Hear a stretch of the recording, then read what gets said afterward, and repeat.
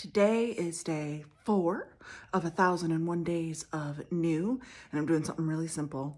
I am starting a fire with steel wool and a nine volt battery.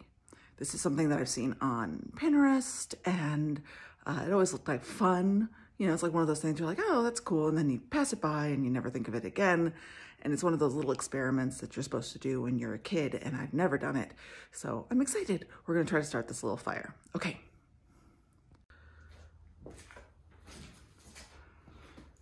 Go.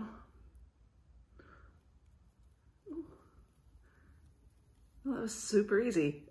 there it goes. Let's start a little fire over here. Whew, stanky. We get a little bit more? No?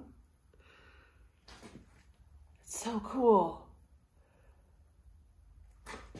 I don't know if the camera's picking this up, but the fire is like working on the inside and it, oh my God, that just looks so freaking neat.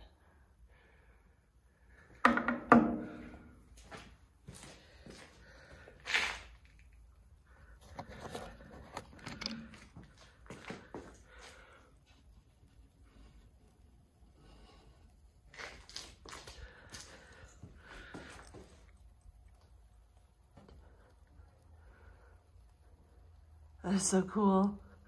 Yay! It's like they're like little like firebugs like crawling around inside the steel wool. It's um it's a little actually off-putting really.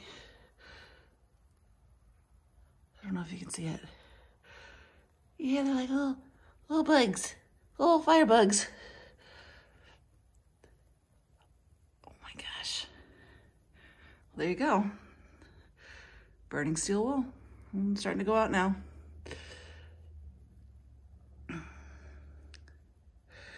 It happens a lot slower than they show in like those videos. I think they speed them up, obviously. But it lit really fast. Apparently the finer the steel wool, the faster it lights. Ah, it's so cool.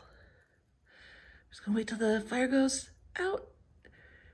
And it's a little bit left.